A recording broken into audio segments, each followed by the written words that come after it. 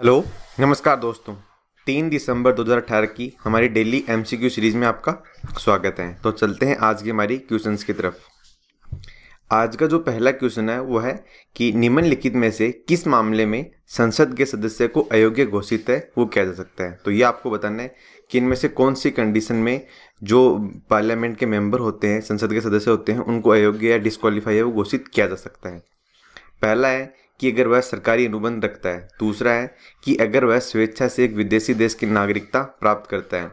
और तीसरा दिया गया है कि अगर वह स्वैच्छिक राजनीतिक दल से सदस्यता छोड़ देता है, जिसकी टिकट के ऊपर वह सदस्य बना है देखो ओबियसली आपको पता है कि तीनों के तीनों स्टेटमेंट ही सही है कि तीनों ही कंडीशन में बेसिकली संसद का सदस्य है, वो डिस्कालीफाई है, वो हो जाता है।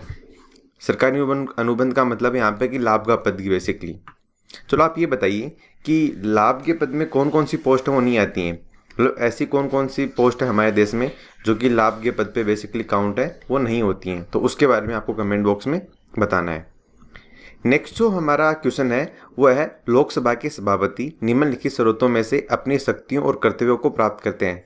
मतलब यह है कि लोकसभा के सभापति होते हैं, वो अपनी शक्तियाँ कहाँ से प्राप्त है, वो करते हैं। पहला ऑप्शन दिया गया कि भारत का संविधान दूसरा दिया गया कि राज्यसभा के कारोबार की प्रक्रिया और आचरण के नियम और तीसरा दिया गया संसदीय सम्मेलन। अब आप एक चीज़ देखिए। एक बार आप सेकंड ऑप्शन को यहाँ पे देखिए। सेकंड ऑप्शन क्या कह रहा है? कि राज्यसभा के कारोबार की प्रक्रिया और आचरण के नियम। भाई, बात यहाँ पे लोकसभा की हो रही है, बीच में राज्यसभा का क्या लेना देना? तो ओबियसली सेकंड स्टेटमेंट यहाँ पे साफ़ साफ़ गलत हो जाते हैं और उसके आधार पे हम एलिमिनेट करके पा सकते हैं कि डी भी गलत हो गया ए भी गलत हो गया और सी भी गलत हो गया। तो बचा क्या? बी, एक और तीन। जी, बिल्कुल सही है। भारत के संविधान और संसदीय सम्मेलन के द्वारा लोकसभा की सभापति के पास पावर है, वो आती है। राज्यसभा का तो कोई लेना देना ही नहीं है यहाँ पे लोकसभा में। नेक्स्ट जो क्वेश्चन है, वो है Supreme Court record of court का मतलब क्या है? आपको बताना है कि सुप्रीम कोर्ट में रिकॉर्ड ऑफ़ कोर्ट है। देखो सुप्रीम कोर्ट के पास बेसिकली ये पावर है रिकॉर्ड ऑफ़ कोर्ट की। ये आती है आर्टिकल एक के तहत। इसका मतलब क्या है? पहला ऑप्शन आपके सामने दिया गया है कि सर्वोच्च न्यायालय के निर्णय कार्यवाही और जो करते हैं, उनकी निरंतर स्मृति और गवाही के तौर पर उनको दर्ज किया जा सकता है या उनको रिकॉर्ड किया जा सकता है। दूसरा स्टेटमेंट दिया गया है कि अदालत की अवमानना के लिए दंडित करने की शक्ति है।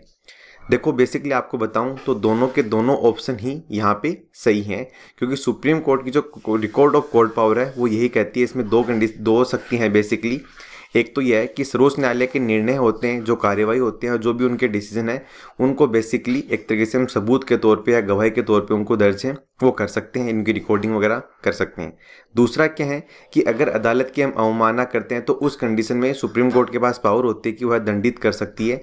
इसके लिए छः महीने का कारावास या फिर दो हज़ार रुपये तक की सज़ा या फिर दोनों ही कंडीशन अप्लाई है वो हो सकती हैं। तो यह हमें ध्यान रखना है। नेक्स्ट जो क्वेश्चन आया है वह है, संसदीय प्रक्रिया में भारतीय नवाचारों के निम्नलिखित बयानों पर विचार कीजिए।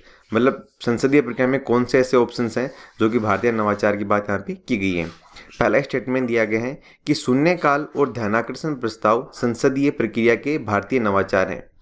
दूसरा ऑप्शन दिया गया है कि प्रक्रिया के नियमों में शून्यकाल और ध्यानाकर्षण प्रस्ताव दोनों का उल्लेख नहीं किया गया है। देखो, इसके बारे में हमने पॉलिटी में लक्ष्मीकांत में काफ़ी बार पढ़ा है और इसके बारे में आपको आंसर हो कमेंट बॉक्स में बताना है कि ध्यानाकर्षण प्रस्ताव और यहाँ पे शून्यकाल की बात यहाँ पे बेसिकली की गई है।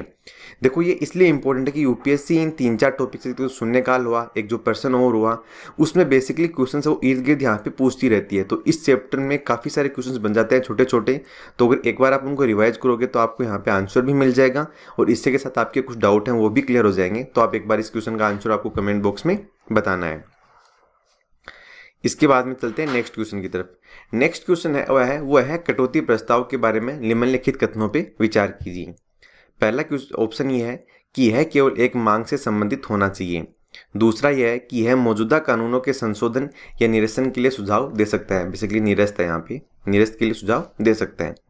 तीसरा है कि यह भारत के समय की निधि पर लगाए गए व्यय के किसी भी मामले से संबंधित हो सकता है। और चौथा दिया गया है कि यह किसी मामले से संबंधित हो सकता है, जो कि न्यायालय द्वारा निर्णय लेता है केवल विशेष मामलों में। आपको सही ऑप्शन बताना है कि ए बी सी डी में से कौन सा सही है, वो होने वाला है, या फिर ए बी बी सी सी है। देखो, हम बात करें, कटौती प्रस्ताव है, वो बेसिकली केवल एक मांग से संबंधित है, वो होना चाहिए तो इसमें एक ऑप्शन है या फ़र्स्ट ऑप्शन है, वो सी होगा। बाकी तीन, चारों सेकंड थर्ड और फोर्थ है, वो यहाँ पे गलत हैं। तो ये इसे हमें ध्यान में रखना है। नेक्स्ट जो क्वेश्चन आया है, वो है निम्नलिखित में आपको रेंज है, वो करना है, कौन सा सुमेलित है वो आपको बताना है। एक साइड अनुच्छेद दिए गए हैं और एक साइड मामले दिए गए हैं। पहला दिया गया है आर्टिकल 130 दिया गया है कि सर्वोच्च न्यायालय की सीट से संबंधित। दूसरा दिया गया है आर्टिकल एक सौ उनतीस, सर्वोच्च न्यायालय के मूल क्षेत्राधिकार। तीसरा दिया गया है आर्टिकल 136 विशेष अपील का अधिकार। और चौथा दिया गया है, एक सौ बयालीस, सुप्रीम कोर्ट के आदेशों और आदेशों का प्रवर्तन। काफ़ी सिंपल क्वेश्चन है। इसका आंसर भी आपको कमेंट बॉक्स में बताना है कि देखो डायरेक्टली एक्चुअली आर्टिकल से क्वेश्चन पूछा गए तो आप इजीली इस क्वेश्चन का आंसर है अटेम्प्ट कर सकते हो। बेसिकली जैसे हमने यहाँ पे डिस्कस किया था कि आर्टिकल एक है, वो सुप्रीम कोर्ट की रिकॉर्ड ऑफ़ कोर्ट पावर बनने की चीज़ पे फोकस करता है और आर्टिकल 131 है, वो सर्वोच्च न्यायालय के मूल क्षेत्राधिकार को फोकस है, वो करता है। तो अब आपके लिए क्वेश्चन का आंसर काफ़ी सिंपल हो गया है तो आपको इसका आंसर कमेंट बॉक्स में बताना है। नेक्स्ट जो क्वेश्चन आया है, वो है भारत के सुप्रीम कोर्ट के बारे में निम्नलिखित बयानों पे विचार कीजिए। पहला स्टेटमेंट है कि इसके मूल क्षेत्राधिकार क्षेत्र केवल संघीय मामलों तक ही सीमित है। दूसरा कह रहा है कि इसका सलाहकार क्षेत्राधिकार भी है मतलब ये एडवाइस है एडवाइस के तौर पे भी काम है, वो करता है। तीसरा स्टेटमेंट कह रहा है कि इसका अधिकार क्षेत्र और शक्तियों को राष्ट्रपति द्वारा बढ़ाया जा सकता है। अब यहाँ पे एक गड़बड़ हो रही है। राष्ट्रपति द्वारा बढ़ाया जा सकता है। देखो, ये तो गड़बड़ हो रही है ना कहीं ना कहीं। क्योंकि आपको पता है कि सुप्रीम कोर्ट की अगर पावर को बढ़ाना है तो वो काम पार्लियामेंट के द्वारा ही किया जा सकता है, ना कि राष्ट्रपति के द्वारा।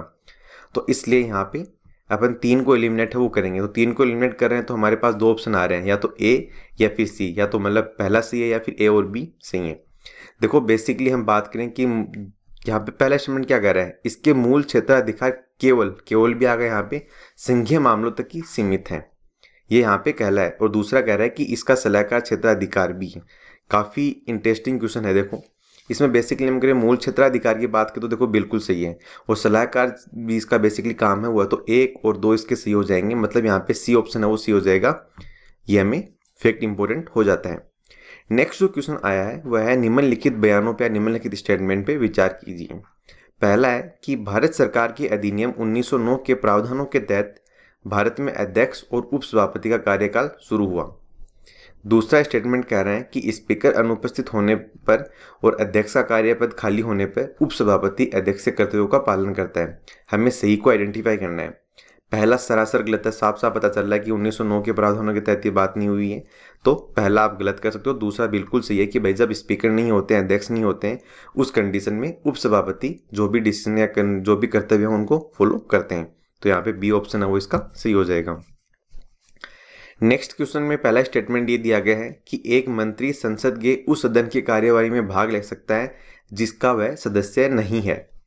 दूसरा स्टेटमेंट है कि एक मंत्री जो संसद के किसी भी सदन का सदस्य नहीं है, दोनों सदनों की कार्यवाही में भाग ले सकता है। अब आपको पता है कि कोई भी ऐसा मेंबर जो कि बेसिकली पार्लियामेंट का मेंबर नहीं बना है अभी तक, अगर वो संसद का सदस्य बन रहा है तो उसको छः महीने के अंदर संसद का सदस्य बनना होता है, उसके बाद ही बेसिकली वो एक तरीके से मंत्री वगैरह बन सकते हैं। ये हमने पहले काफ़ी बार डिस्कस भी किए हैं और लक्ष्मीकांत में इसके बारे में हमने काफ़ी बार देखा भी है। इस तरह यहाँ पर पूछा है कि गलत स्टेटमेंट चुनना है। पहला स्टेटमेंट भी बिल्कुल सही है, दूसरा भी बिल्कुल सही है तो यहाँ पे ऑप्शन हो जाएगा डी कोई नहीं, क्योंकि गलत स्टेटमेंट इसने पूछा है। तो ये हमें ध्यान में इफ़ेक्ट रखना कि पूछा क्या हमसे। तो ये थे आज के हमारे क्वेश्चन तो आपको जो क्वेश्चन बताना है कमेंट बॉक्स में, वो मैंने आपको बता दिया है कि एक तो बेसिकली आपको ध्यानाकर्षण और शून्यकाल के बारे में बताना है। इसके साथ ही आपको लाभ के पद कौन कौन से होते हैं, उसके बारे में भी कमेंट बॉक्स में बताना है। ये थी आज की हमारी डिस्कशन तो फ़िलहाल इतना ही।